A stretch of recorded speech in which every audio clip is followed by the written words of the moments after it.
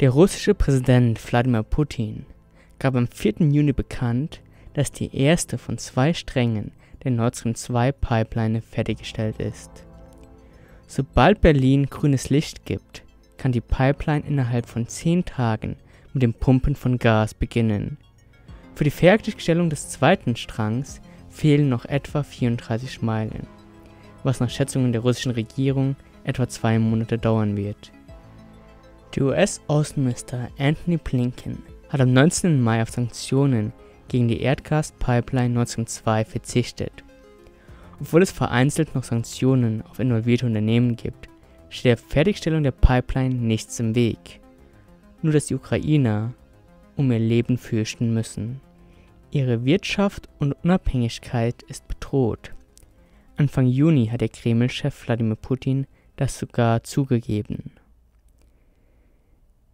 Handelsblatt schrieb in Putin nutzt Nord Stream 2 zur Erziehung der Ukraine das folgende, Zitat, die von der US-Regierung mit Sanktionen bekämpfte und von vielen EU-Staaten abgelehnte Ostsee-Pipeline sei ein rein ökonomisches Projekt, alles andere sei dümmliche Propaganda. Das hat Kreml-Chef Wladimir Putin auf seinem St. Petersburger Wirtschaftsforum erneut unterstrichen. Dort gab er bekannt, dass Nord Stream 2 binnen zweier Monate fertig werde. Als Argument für seine These führt Russlands Präsident an, dass die Leitung kürzer sei als Transit russischen Erdgas durch die Ukraine und die Slowakei oder durch Weißrussland und Polen. Mit Nord Stream 2 gäbe es keine Länderrisiko und keine Transitgebühren. Soweit so bekannt. Doch dann folgten Putins verräterische Worte. Russland sei nicht verpflichtet, andere Länder durchzufüttern, sagte er. Und die Ukraine sei selbst schuld, dass sie nur 1,5 Milliarden statt 3 bis 4 Milliarden Dollar bekomme pro Jahr für den Transit russischen Erdgas nach Westeuropa. Wenn es normale Beziehungen zwischen Kiew und Moskau gäbe, würden wir mehr Gas durchleiten, schob Putin die Schuld für den Konflikt der ukrainischen Führung zu. Er stellt damit Nord Stream 2 in eine eindeutig politische Ecke. Die Gasleitung durch die Ostsee ist ein Erziehungsinstrument für die um Unabhängigkeit kämpfende Ukraine, um sie wieder enger an das machtpolitische Gravitationszentrum, den Kreml, heranzubringen. Zitat Ende. Während der Trump-Administration stand Nord Stream 2 unter US-Sanktionen.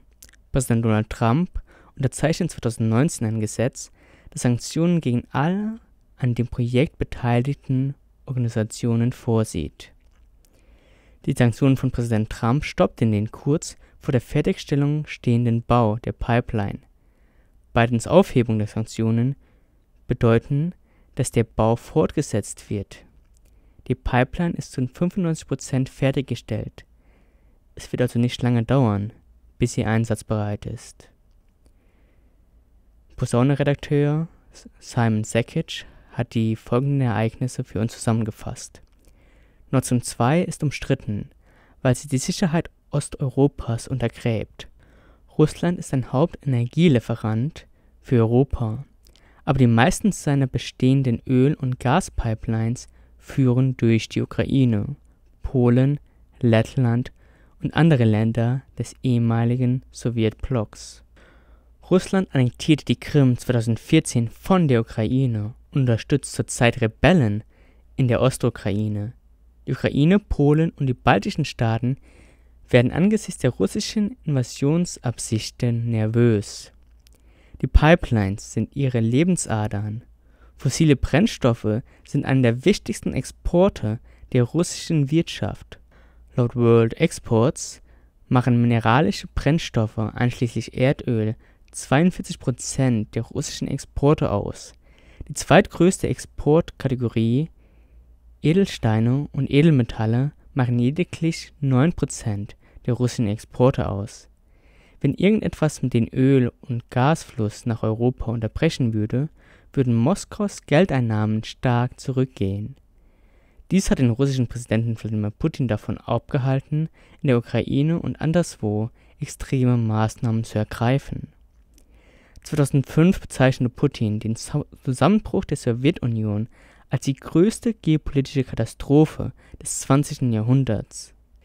Er ist sehr stolz auf das Erbe des Sowjetimperiums und sein Hauptziel war es immer, Russland wieder in den Status einer Supermacht zu versetzen. Ein Hauptweg, um dies zu tun, besteht darin, Stück für Stück mehr Territorium der ehemaligen Sowjetunion zurückzugewinnen, wie er das 2008 mit Georgien und 2014 mit der Krim getan hat. Aber das sind kleine Errungenschaften. Um das Sowjetimperium wieder wiederbeleben zu lassen, müssen größere Territorien folgen. Es ist Russlands Pipeline-Netz, das größtenteils verhindert hat, dass Putin dieses Ziel erreicht. Aber Nord Stream 2 hat das Potenzial, das Pipeline-Problem vollständig zu beseitigen. Bei dem Projekt handelt es sich um eine Erdgaspipeline, die unter der Ostsee von Russland nach Deutschland führt. Deutschland wird die neue Erdgasdrehscheibe für Westeuropa. Diese Pipeline ermöglicht es Russland, Erdgas nach Westeuropa zu exportieren und dabei den Weg durch Osteuropa zu umgehen. Nord Stream 2 hat dann das Potenzial, ein Todesurteil für die Ukraine und Polen zu sein. Moskau könnte ihre Energieversorgung unterbrechen und Druck auf sie ausüben, sich den russischen Forderungen anzupassen. Im Fall der Ukraine könnte Putin sogar versuchen, einen formellen Angriff zu starten. Blinken sagte in seiner Bestätigungsanhörung vor dem US-Senat im Januar, er sei entschlossen, alles Machbare zu tun, um die Fertigstellung der letzten 100 Meter von Nord Stream 2 zu verhindern. Er sagte in einem Interview mit Euronews am 25. März, dass Präsident Biden der Meinung ist, dass Nord Stream 2 eine schlechte Idee und ein schlechter Deal für Europa, für uns, für die Allianz ist. Das war im Januar, nun im Juni sieht alles anders aus. Warum also die plötzliche Kehrtwende? Einige sagen das, wichtige Biden-Beamte behaupteten, dass der einzige Weg, das Projekt zu stoppen, darin besteht, die deutschen Stellen, die am Ende der Pipeline stehen, zu sanktionieren. Aber die USA wollen ihre Beziehung zu Deutschland wegen Nord Stream 2 nicht belasten. Washington gibt Berlin auf diese Weise grundsätzlich grünes Licht zum Weitermachen. Es ist leicht zu verstehen, warum Berlin, Deutschland, zur Energiedrehscheibe für Westeuropa machen will. Aber warum ist es bereit, dafür einen Deal mit dem Teufel einzugehen? Warum ist es bereit, die Sicherheit osteuropäischer Länder zu riskieren, von denen viele EU- und NATO-Mitgliedstaaten sind. Und was ist mit den Vereinigten Staaten? Washington hat über Jahrzehnte durch den Marshallplan, die NATO und andere Programme Milliarden von Dollar nach Deutschland fließen lassen.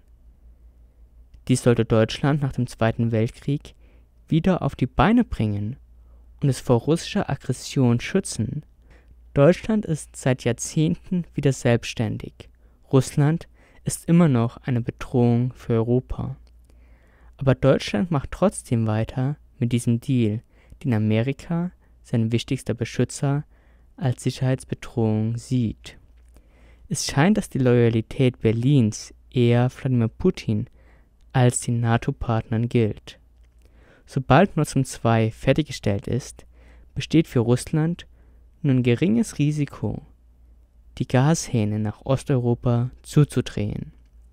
Denn das Gas kann auch dann immer noch nach Westeuropa fließen.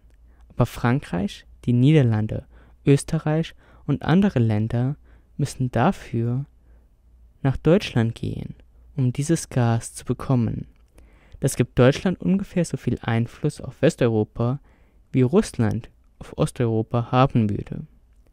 Man könnte, man könnte sagen, dass Deutschland und Russland Europa unter sich aufteilen. Und das wäre nicht das erste Mal. 1939 unterzeichneten Nazi-Deutschland und die Sowjetunion den berüchtigten Molotow-Ribbentrop-Pakt. Adolf Hitler und Josef Stalin einigten sich darauf, Länder wie Polen, Rumänien und die baltischen Staaten aufzuteilen. Dieser Pakt führte direkt zum Zweiten Weltkrieg. Viele hofften, dass das Europa des 21. Jahrhunderts ein anderes sein würde als das Europa der Vergangenheit. Sie hofften, dass die Institution EU Europa in einen Kontinent der Zusammenarbeit, Integration und Achtung der nationalen Grenzen verwandeln würde. Nord Stream 2 bringt Europa im Grunde in das Jahr 1939 zurück. In ein Europa, in dem Deutschland und Russland das Sagen haben und alle anderen zuhören müssen. Man muss sich fragen, ob diese Molotow-Ribbentrop-2-Pipeline ein Vorbote für eine weitere Krise in Europa ist. Doch das könnte niemals passieren, solange die NATO-Allianz stark ist. Oder? Posaune-Chefredakteur Gerard Fleury schrieb dazu, Zitat, als die NATO 1949 gegründet wurde, bestand ihr Hauptzweck darin, das entwaffnete Deutschland und andere europäische Länder vor der von Russland geführten Sowjetunion zu schützen.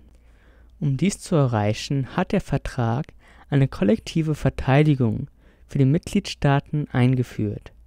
Wenn ein Aggressor einen von ihnen angriffe, wird er Krieg mit allen haben.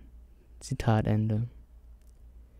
Herr schrieb weiter in seinem Artikel Deutschlands und Russlands geheimer Krieg gegen Amerika, Zitat, Nord Stream 2 bindet Russland und Deutschland auf eine Weise zusammen, die die NATO untergräbt. In der Tat, obwohl Russland und Deutschland dies nicht sagen werden, zielt dieses Pipeline-Projekt eindeutig darauf ab, die NATO zu zerstören. Zitat Ende. Es ist keine Überraschung, dass Putin die NATO aus dem Weg räumen möchte. Das ist seit der Gründung der Organisation eines der Hauptziele Moskaus. Aber was ist mit Deutschland? Hier Flori fort, Zitat, was nicht so offensichtlich ist, ist die Tatsache, dass Deutschland die NATO auch eliminieren will. Zitat Ende. Finden Sie heraus, warum, indem Sie Deutschland und Russlands geheimer Krieg gegen Amerika lesen. Diesen Artikel finden Sie auf unserer Webseite dieposaune.de. Mein Name ist Jose Michels. Beobachten Sie weiterhin die Welt, in der Sie leben.